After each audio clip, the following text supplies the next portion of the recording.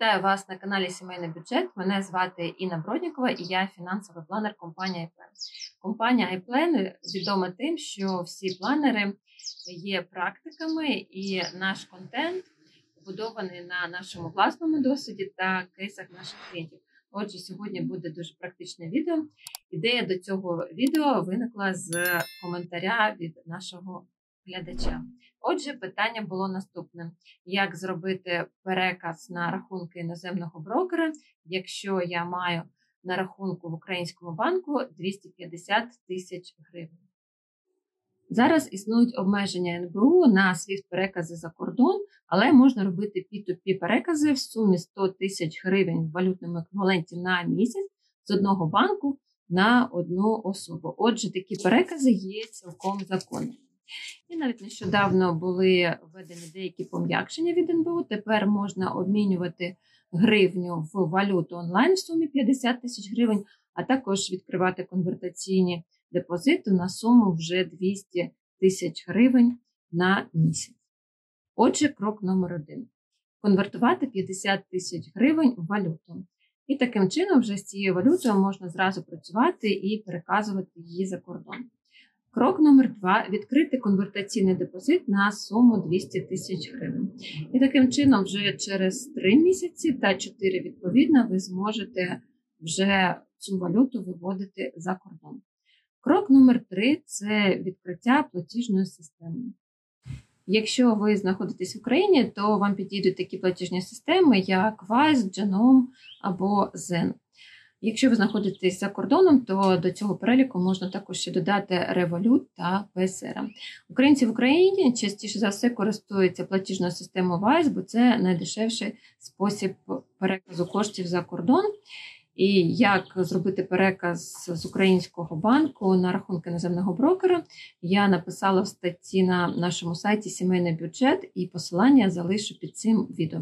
На що потрібно звернути увагу, що такий переказ дешевше за все здійснювати в євро.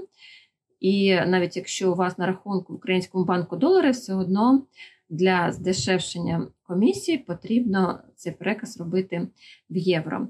Також цей переказ працює за допомогою функції Google Pay, тобто потрібен телефон, який використовує систему Android. На жаль, для iOS такий метод переказу не працює. У нас немає наразі вдалих кейсів по таким переказам. Такий переказ можна здійснити з Пумбу, з Моно і з Укргазбанку. Також можливо зробити цей переказ із Приватбанку, але тут будуть комісії ще на стороні Приватбанку, і вони складають 2%. Такий переказ здійснюється напряму з українського банку на рахунки в іноземному брокері, і поповнення саме рахунку Vice не відбувається. Vice виступає як така платформа для переказу.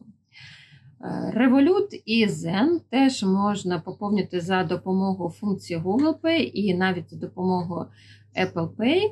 І тут вже відбувається саме поповнення цієї платіжної системи, і також можна поповнювати в різних валютах. Тут комісія, бо їх відсутність не залежить зазвичай від валюти поповнення. Але з Зену не можна зробити переказ в доларах на рахунки іноземного брокера, і техпідтримка Зен каже, що це саме заборона для українців на SWIFT перекази.